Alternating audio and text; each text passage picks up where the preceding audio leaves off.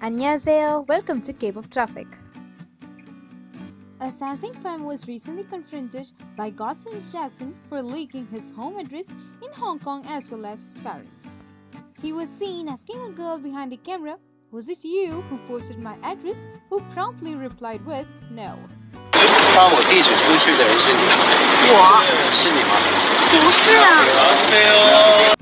Noted the added danger to him and his family as he recently shared one China sympathies, disappointing many Hong Kong fans.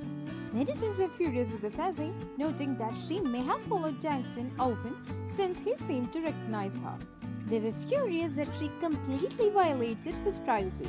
Now fans are calling JYP Entertainment to take action and protect their artist. GOT7's fans were the ones who really needed medical attention after witnessing this. GOT7 fans caught a glance at Bam Bam's physique when he had a strip down for a medical exam prior to the Thai military drafting. Fans would have been heartbroken if Thailand had drafted Bam Bam into its military, but they didn't mind witnessing his medical inspection. Bam Bam went topless for legitimate health reasons. The purpose of this medical review was to assess Bam Bam's overall physique. But fans could have told the medical team everything they needed to know. While waiting in line for the inspection, Bam Bam started to laugh and cover his face. He seemed a little shy about being on display for so many flashing cameras, but fans are thankful for his service.